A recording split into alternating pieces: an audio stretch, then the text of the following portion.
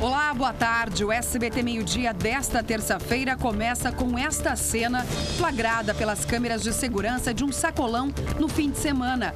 O caso aconteceu no bairro Ingleses, na capital, e está causando indignação. Os pais acreditem e ensinam o filho a roubar. Uma criança entrando no mundo do crime, incentivada por quem deveria educar. A polícia da capital está empenhada em localizar os pais do garoto que aparecem no vídeo roubando o dinheiro do caixa de um hortifruti.